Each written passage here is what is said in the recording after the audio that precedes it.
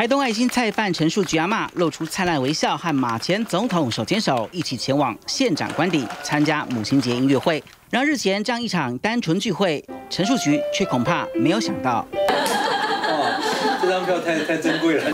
可以可以，叫他下次再次来当酸中痛啊。因为当时向马前总统说了几句内心话，竟让他瞬间从一群人眼中的大善人，成为被霸凌对象。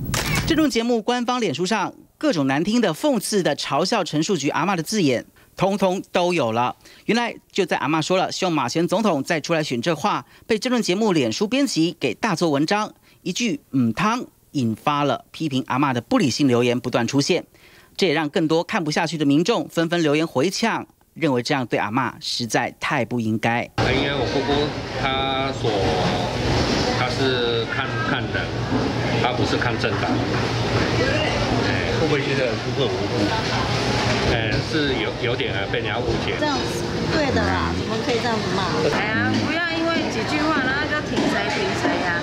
因为政治立场不同，这轮节目竟动歪念头，在一个默默捐款行善、无辜的老人家身上，不仅失去了公正立场，恐怕也引来操弄族群、带风向的嫌疑。借徐璐、严靖宇台东报道。